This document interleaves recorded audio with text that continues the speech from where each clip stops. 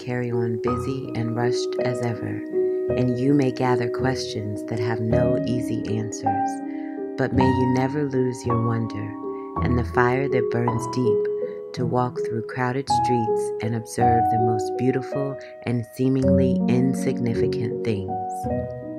One of the most frequently asked questions that I get has something to do with our morning routine.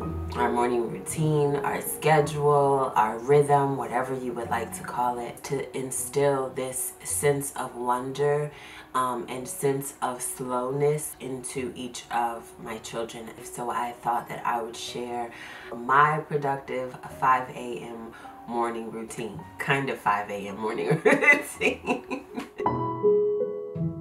I, I hesitated to share because you always have goals and my goal has been to wake up at 5 a.m. since forever and it's a hard one. There's different seasons of motherhood and it's just hard for me. I'm not really a morning person. But I like the slowness and the stillness and the crisp air of the morning, but as rushed as the morning can be or can become, um, it's not me. I don't like it. Uh, so I've been trying to find ways for an early morning routine that invites stillness and invites quiet. And in that, I think it's been pretty successful. I've been trying to discipline myself to um, just have a bit more structure to my morning routine. But I love the way the kids' morning routine pans out and what it's become over the years.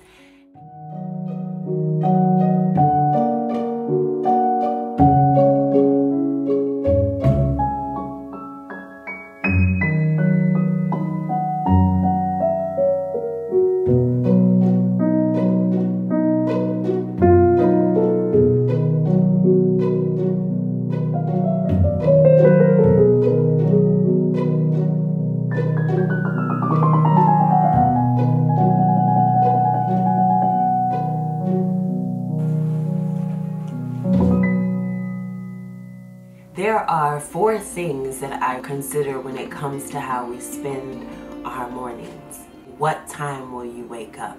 This one is an ever rotating thing for me because I'm always trying to get up at 5 a.m. and I'm always failing. But um, I have learned in order to develop a routine um, to give myself space and grace to do so, for it to actually become a natural rhythm. So the first thing that I consider is around what time I'd like to wake up. If I wake up at 5 a.m., then my reward is a nice warm beverage. I am on the hunt to find something that I actually like. For now, um, I will do a little bit of coffee or a little bit of tea, but I haven't really found a warm beverage that I really, really enjoy. And that's gonna kind of be my mission for waking up at 5 a.m. I think one of the things I had to think about is why, like why do I want to wake up so early? And yes, um, I would like a little bit of quiet time um, before the kids wake up. Um, but I found that in the past trying to rush to beat them awake, but I was super sleepy and unrested wasn't a good fit for me. But now I'm at this season where I have identified very specific wise as far as what I want to accomplish and um, what fits in during that time. Like, what can I actually accomplish at that time? And for me, it is editing and writing. Um, waking up early gives me quiet space that is really conducive for a nice, quiet editing or writing time. So that is my why. Making my bed is on the list. it's another one of those very small rewards um, that I give myself once I get through another portion of my early morning routine. So Savannah normally joins me in this. We all have our separate little morning routines. Um, there are a list of things that we need to get done, like brushing our teeth and washing our face and making our bed and getting dressed. But the order in which they do them is totally up to them. It's just quiet time and quiet space for them to be able to pick out their clothes, and do a few things that they want to do in there. I don't pick out their clothes. I allow them to do this themselves, which can be problematic in some cases. So if I need them to be dressed for going somewhere or something like that, I may pick them out or I may, we may pick them out together the night before. But overall, they dress themselves. Once they are dressed, Savannah normally heads in to be with her mama and she helps me make my bed. And then they get started on a few morning activities. Morning.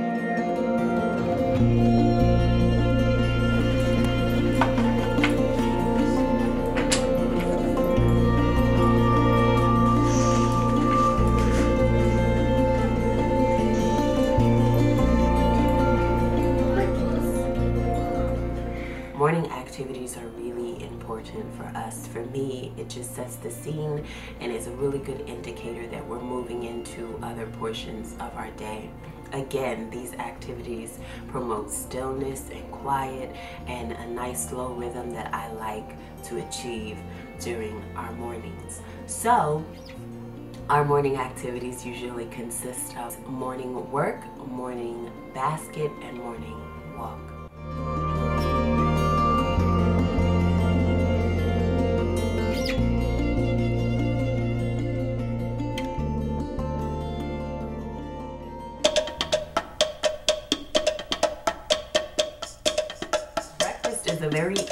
Thing around here. I remember a mom share about how important breakfast was to her and how she had envisioned making these beautiful breakfasts for her kids and she wanted them to have that memory. And I thought it was so sweet and so special and something I definitely wanted to implement. And so I was always trying to do this thing, this thing that actually was a dream or a goal for some one else. And I ask myself what is important to me and what's most important to me is that they have a level of independence and a level of quietness and self-care of sorts. It's one of those things that's really easy for kids to learn how to do independently. So whether it is cold cereal with milk or oatmeal or fruit with boiled eggs. Um, breakfast is normally an independent thing that sometimes one will make a little bit for the other, but overall it's just one of those things that I allow them to have their own natural rhythm.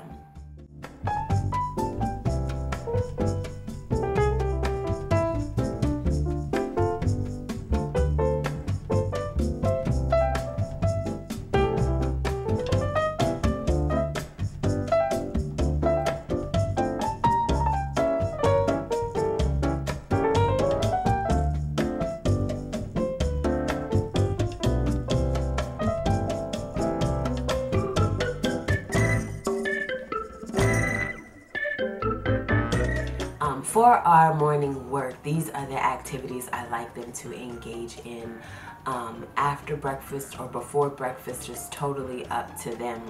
But there are things like brain and logic work, um, which are just simple games that we can play together, like tic-tac-toe or Connect Four, or um, logic games like cat crimes they've been really into lately.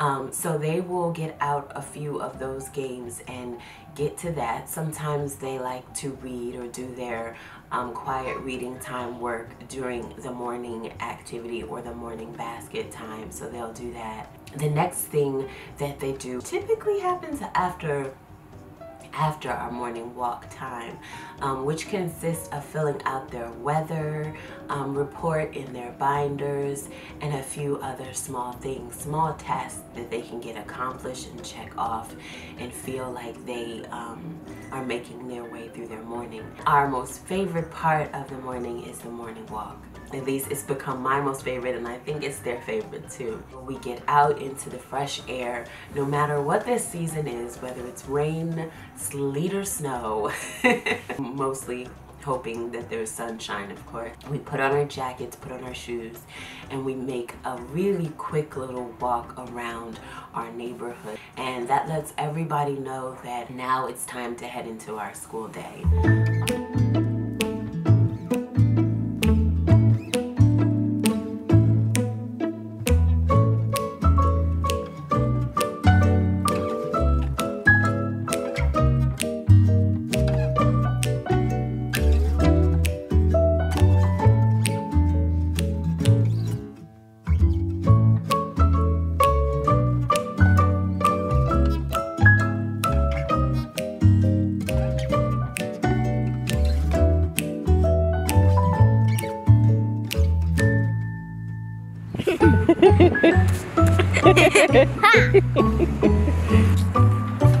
Dinosaurs are now.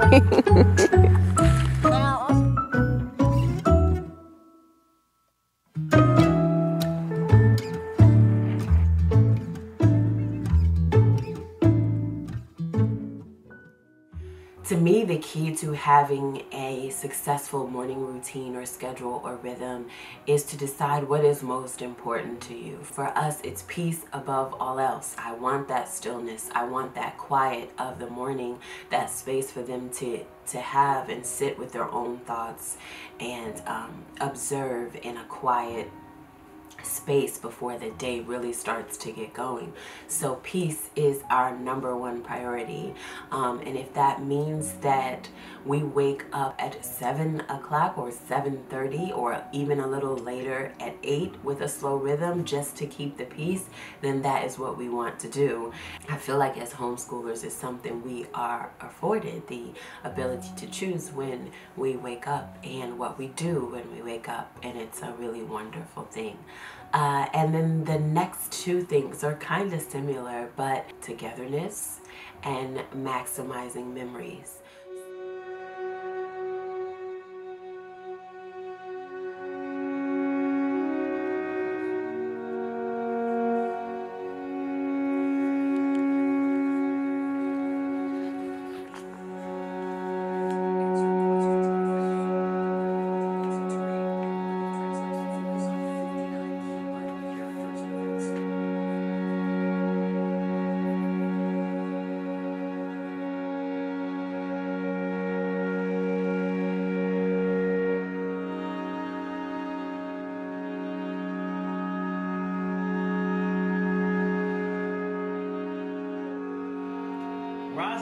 Always said, It's too bad mommy never saw Arundel. She would have loved the gardens. And Jane would say,